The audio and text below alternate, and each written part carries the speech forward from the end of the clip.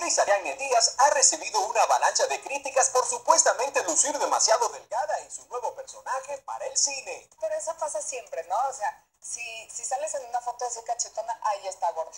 Ay, no, está muy gordo. Sales ya flaca, es muy flaca, muy flaca. Entonces, yo hace mucho tiempo aprendí que